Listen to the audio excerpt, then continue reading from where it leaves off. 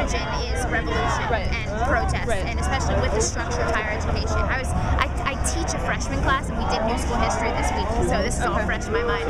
Um, so I'm sorry. They're active, and, and they I think they're they love opportunities like this to come together to, to kind of you know reignite in them this this whole spirit of, of protest and, and you know change and progress. Did the Zuccotti raid influence your feelings about being here today at all?